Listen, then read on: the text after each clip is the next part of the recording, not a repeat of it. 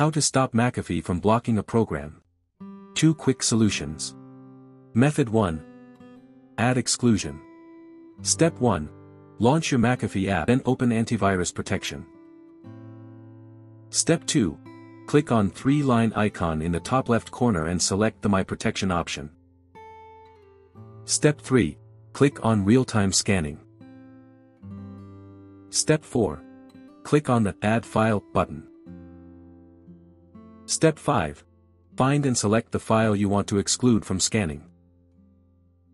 Method 2. Temporarily stop McAfee. Step 1. Launch your McAfee app then open antivirus protection. Step 2. Click on three-line icon in the top left corner and select the My Protection option. Step 3. Click on Real-Time Scanning then click on the Turn Off button. Step 4. From the drop-down, select a period. Step 5. Click on Turn Off.